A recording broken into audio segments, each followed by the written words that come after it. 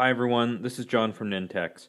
I know there have been some questions around how you can replicate the wait for item update action in Office 365 as that's no longer available and the wait for field action just doesn't quite have the same functionality. So what I wanted to show today was a really quick workaround that you can use to replicate that same functionality and wait for a field to be populated before the workflow progresses.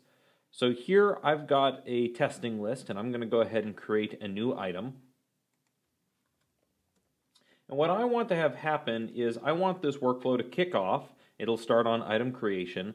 And I want it to wait until the approved column has been populated or the approved field has been populated.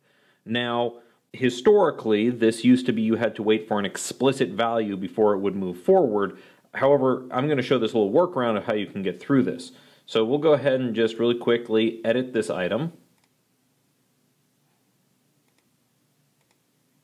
We'll say yes. And we should see that update me gets updated and this wait for field change, which is my workflow column, goes to completed.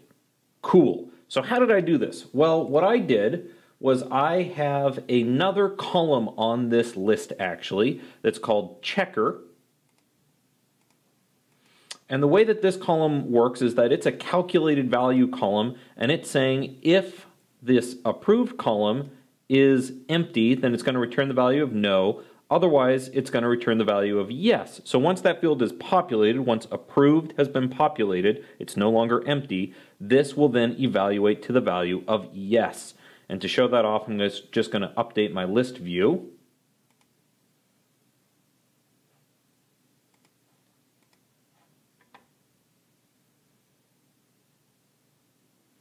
Cool, so let's create one more item here.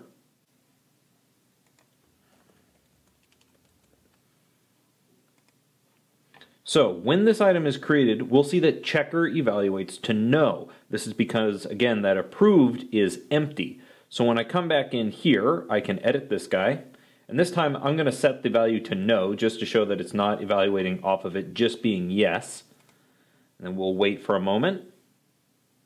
And now you can see that checker has actually gone to yes, which means that my workflow will continue. This will be completed and this will be updated. Let's take a look at the workflow design to see how I did this. So I've got my workflow status, I've got a log to history that's just saying waiting for approval, and then I'm using my wait for field change in current item action. And what I'm doing is I'm actually looking at that calculated value column and looking for it to populate in the value of yes. So that way, when the value that that calculated value calculated value column is looking at uh, gets filled, it will populate itself with yes, which will complete this action and progress the workflow. So pretty easy workaround. I hope that helps. I hope that gives a little bit of value and, and, an answer to how you can replicate that wait for item update action that we had in SharePoint on-prem.